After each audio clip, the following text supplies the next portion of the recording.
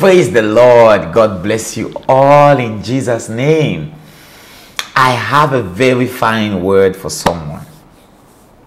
The Holy Spirit just dropped a word in my spirit and it just lighted me up. I, I had to rush to record this because I know it's for someone. It's for someone. If you're seeing me for the first time, my name is Samuel E. Molombe.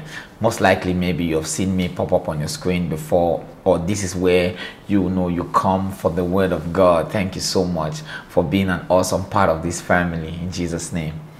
Family, God just dropped a word that lighted me up, and this is an assurance to someone there is somebody right now you you need this assurance the holy spirit is reaching to you you know through me to give you this assurance. The Lord says He loves you. He is indeed in love with you. He is indeed in love with you. The Lord have sent a kingdom spouse to you, or the Lord have showed you that this person is actually connected to your destiny.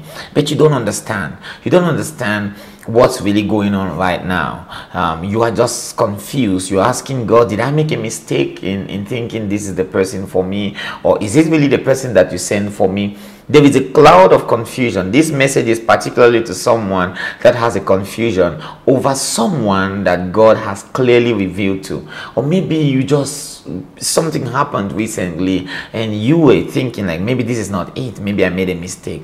Well, God says this man loves you. He loves you so much. He loves you from the depths of his heart. And this is an assurance to you to know that don't move a muscle, don't go anywhere. Stay right there. That's where God has kept you to be.